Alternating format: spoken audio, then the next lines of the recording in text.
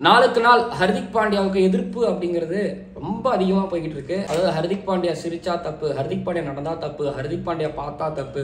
எல்லா விதத்துலேயும் ஹர்திக் பாண்டியா மேலே ஒரு மாதிரி என்ன சொல்கிறது எதிர்ப்பு அதுக்கப்புறம் கோபம் அப்படிங்கிறது அதிகமாகிட்டே இருக்குது மும்பை இந்தியன்ஸ் தோக்கிறதும் ஒரு சில காரணம் அவர் எடுக்கக்கூடிய முடிவுகளும் ஒரு சில காரணம். என்னதாப்பா நடந்துகிட்டு இருக்கு என்னதாப்பா பண்ணணும்? அப்படிங்கிறத ஸோ பேசுவோம்.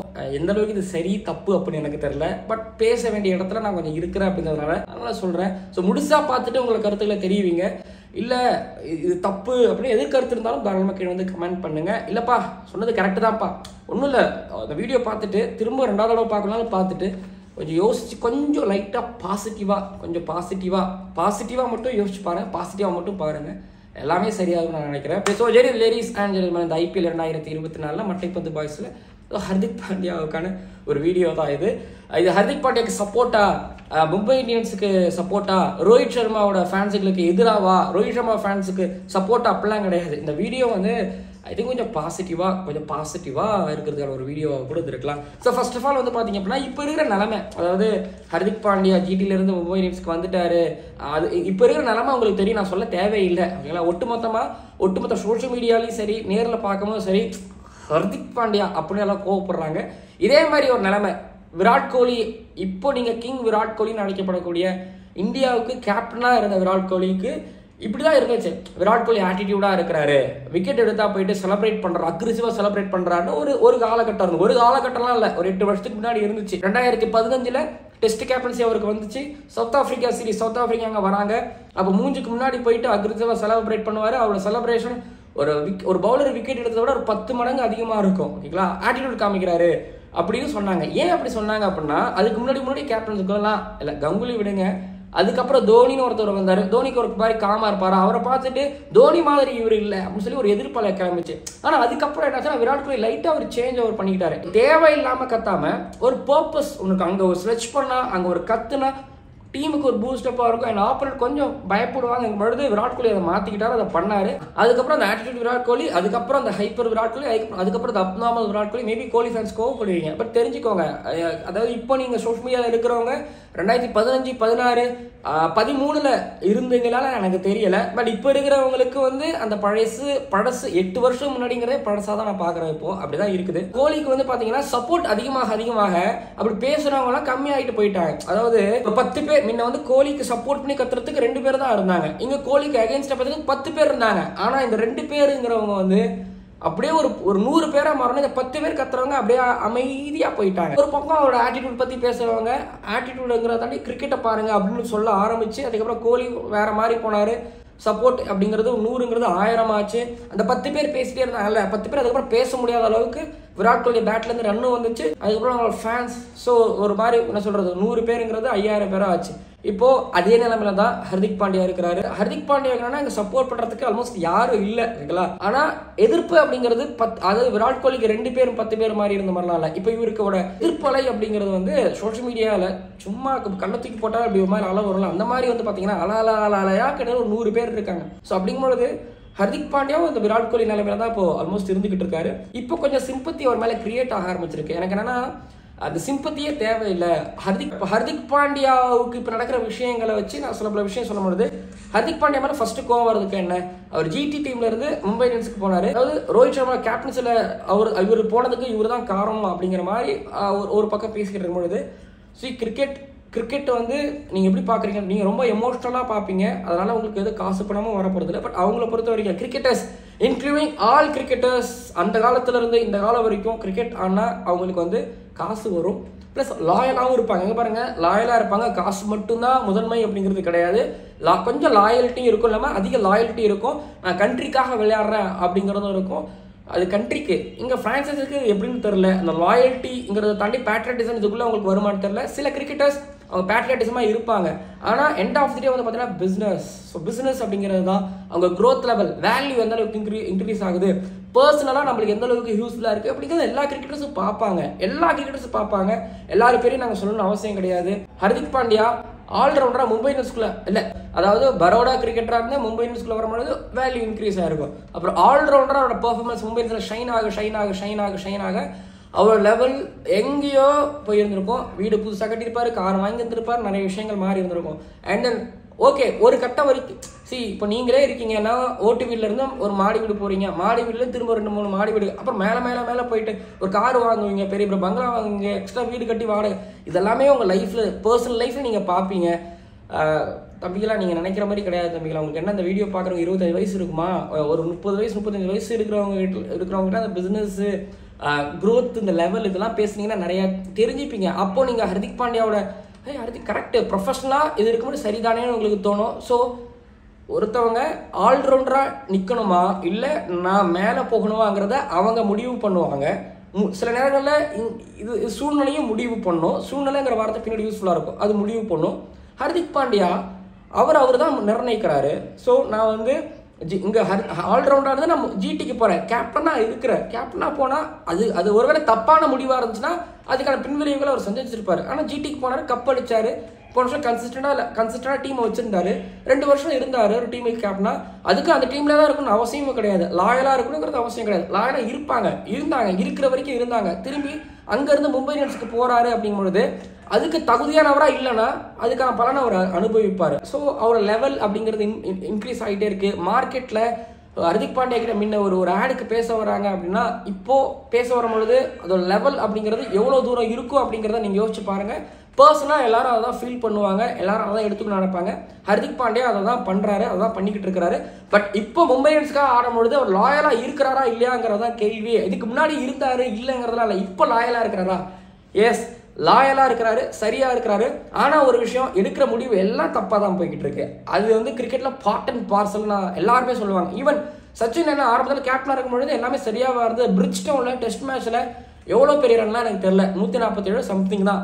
விடிஞ்சு ஏஞ்சி காலைல போய் அடிச்சு ஜெயிச்சிருவோம் அப்படின்னு ஹோட்டலில் இருக்கக்கூடிய ஒரு ஒரு ஆள்கிட்ட அவர் பெட் கட்டுற அளவுக்கு அவன் அந்த ஸ்கோர் தான் அது. ஆனால் விடிஞ்சு ஏஞ்சி பார்த்தா மொத்தமாக டீம்ஸ் டீம் சரிஞ்சு போச்சு.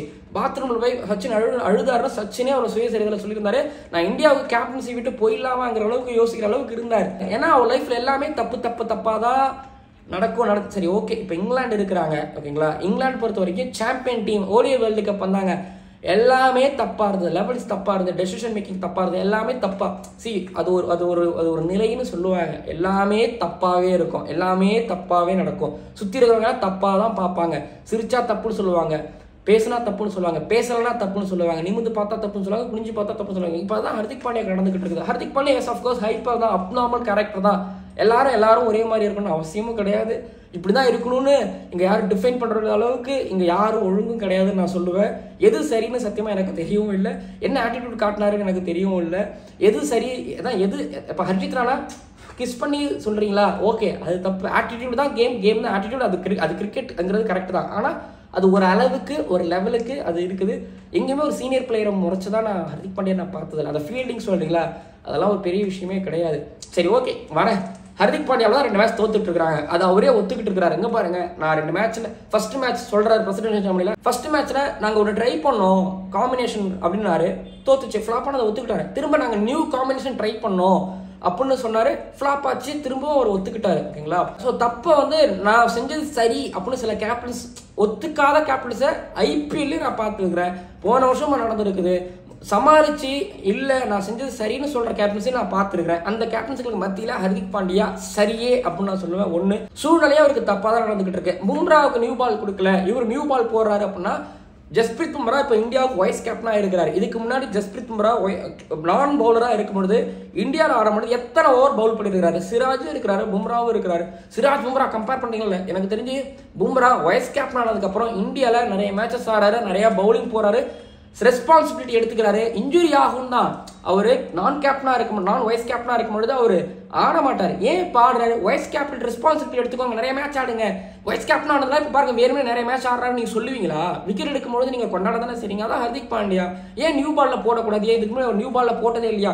அவர் கேப்டன்ஸ்ல நியூ பால் போறோம்னா இப்போ ஒரு கேப்டன் தோத்தா ஹர்திக் பாண்டியாவோட தான் தோத்துன்னு சொல்றேன் ஹர்திக் பாண்டியா விக்கெட் எடுத்தா ஹர்திக் பாண்டியாவோட தான் விக்கெட் எடுத்தாங்கன்னு பேசுவாங்க. இப்படி ஒன்று பேசுவாங்க அப்படி ஒன்று பேசுவாங்க அப்படி ஒன்று பேசுவீங்க. நியூ பால்ல ஆல்ரெடி ஹர்திக் பாண்டியா ஸ்டார்ட் பண்ணியிருக்கிறாரு.